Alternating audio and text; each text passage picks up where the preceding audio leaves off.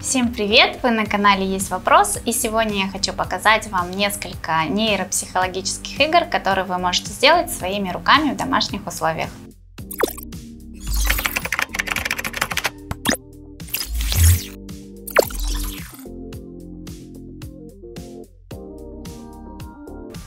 Начну я с игры, которая э, лежит прямо передо мной. Э, ее я нарисовала буквально за несколько минут до того, как началась запись, поэтому не сильно придирайтесь к тому, насколько она хорошо выглядит. Потом, в дальнейшем, после того, как я объясню, как с ней играть, я могу рассказать вам, как ее модернизировать, сделать более интересной, если, допустим, вы планируете с ней работать долго, если она вам нужна не только для одного занятия. Итак, перед нами а, различные кружочки, палочки и а, знаки бесконечности. Пока непонятно, да, что мы с этим будем делать. Мы даем ребенку задачу. Вообще, для начала, наверное, стоит сказать, что такое нейропсихология и вообще, почему, а, почему мы вот такие вещи делаем да, с ребенком. Нейропсихология – это такая наука на стыке психологии и медицины, где изучаются высшие психические функции человека. Это память, восприятие, внимание внимание, речь, мышление. И э, также есть уклон на медицину, то есть на физиологию, на работу мозга и различных зон его. Поэтому э, вам нужно знать, что мы работаем с мозгом ребенка. Да? Это звучит страшно, но на самом деле мозг, он ведь э, тоже работает по определенным своим законам. И нам иногда стоит его взбодрить. Вот как раз этим мы и будем заниматься. То есть мы не будем углубляться в какие-то сложные вещи, поскольку поскольку нейропсихология это действительно сложная наука, и а, там идет очень серьезная диагностика, да, прежде чем работать с ребенком, а, мы в данный момент работаем на то, чтобы просто взбодрить мозг. Такая некая гимнастика для мозга, которая полезна всем. Гимнастика полезна для тела, гимнастика полезна для мозга. Мозг а, когда получает какие-то не совсем а, знакомые, специфические для него задачи, он активизируется и, соответственно, активизируются все процессы, которые в нем происходят. Так вот, вот этот листочек нужен нам для того, чтобы взбодрить наш мозг, чтобы дать ему задачку, которой он, допустим, раньше, наверное, не сталкивался. А, нам для этого нужен листок бумаги, нужен ребенок. Мы даем ему задачу. Для начала да, мы э, достаем указательные пальчики и указательными пальчиками должны пройтись по этим кружочкам. Эта задача довольно простая, она такая как бы вводящая ребенка в процесс, да, а, и каждым пальчиком, но важно что, что каждый пальчик на каждой руке одновременно двигается с, ну, допустим, правая рука одновременно должна двигаться с левой. Мы одновременно нажимаем на эти кружочки. Итак, раз, два, три, четыре, пять. И в обратную сторону. Раз, два, три, четыре, пять. Ребенок справился, он немножко понял, что да, нарисовано, каким образом делать. Мы просим его расположить все пять пальчиков на этих кружочках. То есть вот у меня вот так. А, я рекомендую, если вы делаете это для определенного ребенка, да, ну, допустим, для своего ребенка дома, да, может быть, стоит эм, брать, во-первых, листочек чуть побольше, а во-вторых, эм, делать так, чтобы ребенку было удобно держать пальцы. Вот, допустим, мне было бы удобнее, да, если был было бы вот такое расположение, да, листок был бы побольше, и я бы могла спокойно положить всю пятерню. Здесь я сделала как бы в таком мини-формате, чтобы все вышло, но э, продемонстрировать задание я смогу и так. То есть вот мы положили пальчики, и теперь одновременно отрываем пальчики э, э, от одинаковых кружочков. То есть начинаем, например, с мизинчика, да, поднимаем раз пальчик, два пальчик, три пальчик, четыре пальчик, пять. И в обратную сторону раз, два, три, четыре, пять. А для ребенка такая задача может быть непростой, потому что здесь задействуются межполушарные связи, да, когда мы одновременно работаем двумя руками, задействуются межполушарные связи. Обычно мы работаем какой-то одной рукой, какая-то одна рука у нас работает, другая рука обычно лентяйничает. В этом случае мы одновременно делаем одинаковые действия двумя руками. Это подключает вот эту вот э, межполушарную связь, это включает какие-то новые нейронные связи, которые начинают укрепляться в головном мозге. Это очень полезно вообще для всех процессов, которые происходят в мозге.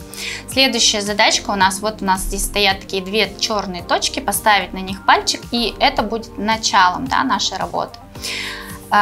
Что еще важно, да, вот у меня сейчас листочек скользит, это немножко мешает мне э, правильно делать задание, потому что мне приходится еще при этом каким-то образом держать листок. Э, нужно, чтобы поверхность, на которой лежит листок, либо сам материал, из которого он сделан, да, он был немножко таким, ну, чтобы держался на столе и не выскальзывал у ребенка из рук, иначе ему будет сложно.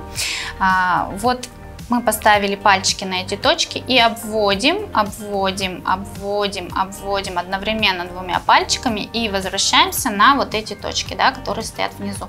Теперь в обратную сторону делаем те же самые движения. Мы обводим, обводим, обводим, обводим и возвращаемся в исходную точку. Это можно делать несколько раз, поскольку это гимнастика, да, мы делаем несколько подходов. А, и последнее наше упражнение на этом листочке, это вот эти знаки бесконечности, да, мы также начинаем из исходной точки серединки и движемся в противоположном направлении, то есть а, одинаковые пальчики у нас, но двигаются в противоположном направлении и вырисовываем вот эту вот восьмерочку такую и возвращаемся обратно в центр. А теперь, где мы остановились, мы делаем то же самое, только в другом направлении. Таким вот образом. Это одна из вариантов игр. Я обещала рассказать, как можно сделать ее более такой презентабельный, более солидный, да, мы можем вместо вот этих кружочков, допустим, использовать а, какие-то, ну, либо кружочки из картона, либо какие-то, допустим, небольшие да, пуговки.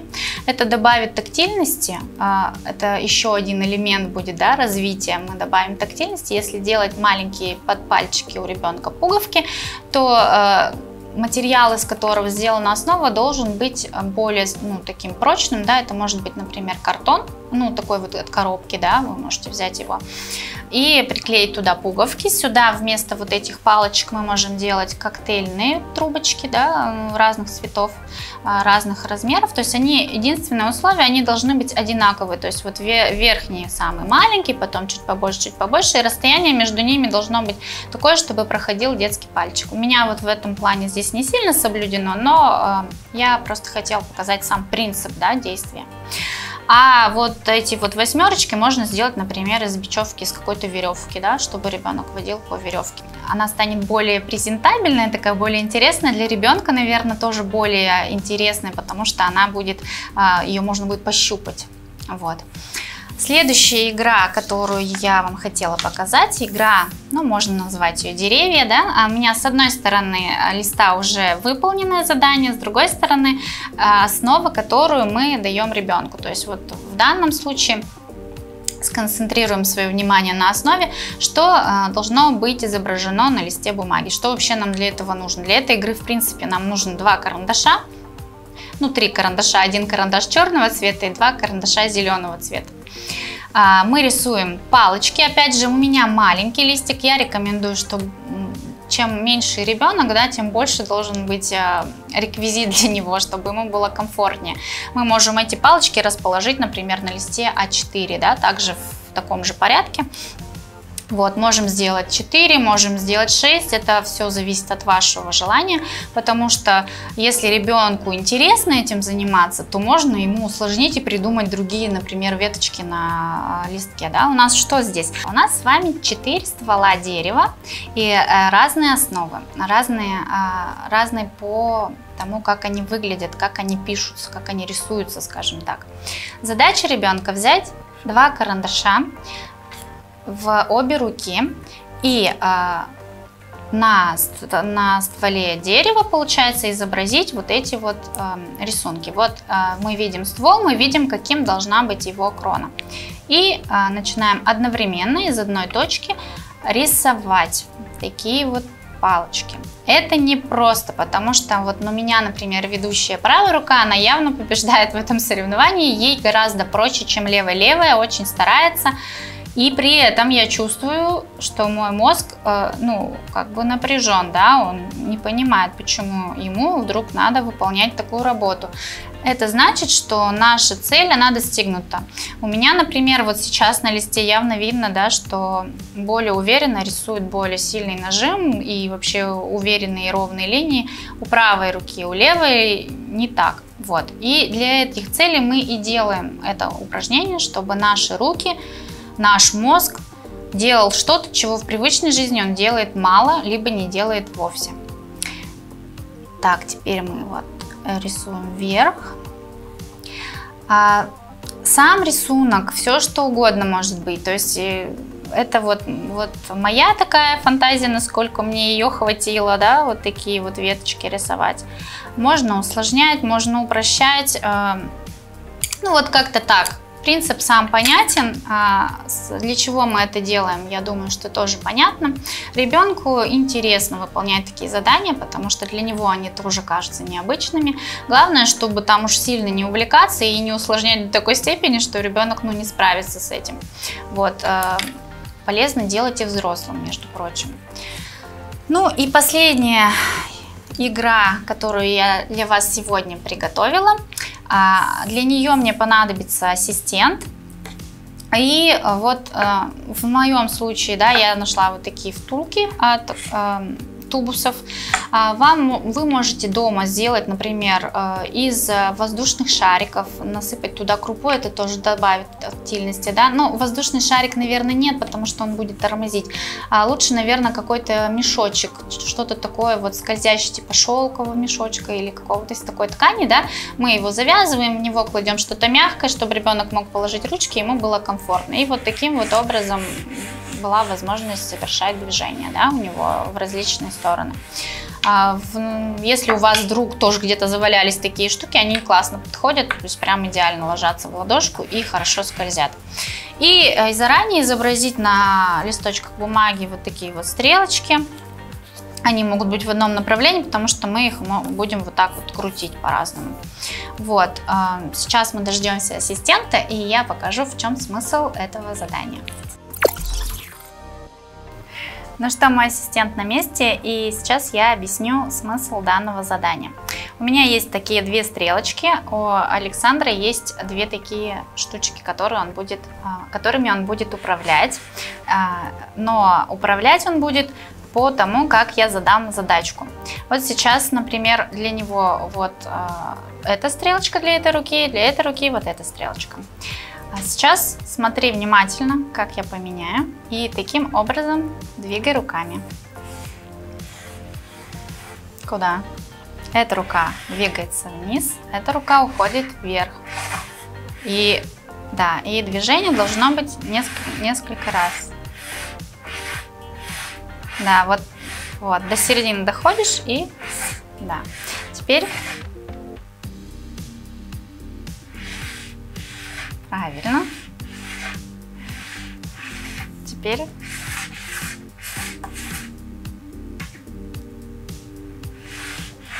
видим, да, что даже мозг Александра у нас немножко, ну, притормаживает, скажем так, да, то есть он не сразу понимает, каким образом. Это потому, что он зрительно, вот получает инструкцию зрительно, а потом пытается руками а, ее каким-то образом воплотить в жизнь, да? Ну, вот общий смысл понятен, да, то есть мы стрелками указываем направление а, для ребенка, направление движений. Если я вот поворачиваю сюда, да, то двумя руками это одно и то же движение делать проще. Когда я задаю одной руке одно задание, а другой руке задаю другое, то сразу возникают некоторые сложности. Ну вот сейчас у Александра уже получается лучше потому что он немножко понял, мозг немножко настроился на нужную волну, и у нас все получается лучше. Вот таким вот образом мы работаем с этим упражнением. Сегодня я показала вам несколько игр, которые направлены на то, чтобы развить, взбодрить, а, показать мозгу какие-то новые задачки, с которыми он раньше не сталкивался, и а, сделать полезно себе и своему ребенку. Подписывайтесь на наш канал «Есть вопрос», ставьте лайки, а мы будем рады вашей обратной связи в комментариях. До новых встреч, пока!